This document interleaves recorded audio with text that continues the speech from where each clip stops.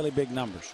Jerry, there's been uh, some type of uh, power failure in the building where not everything is inoperative. You can see the scoreboard, which uh, just illuminated a moment ago, uh, but that is why we are having the momentary operative. The lights now around the arena, slowly but surely, some more are coming to life. I know one thing, it would be probably not a very good day shooting percentage wise if they played the way it is now. What do you think, Jared? Well, for some guys, it probably wouldn't make a lot of difference. Guys like Curry, probably. Yeah. Does not appear that any of the lights up above are uh, coming on. One thing about the Kings and the Warriors, generally speaking, their games.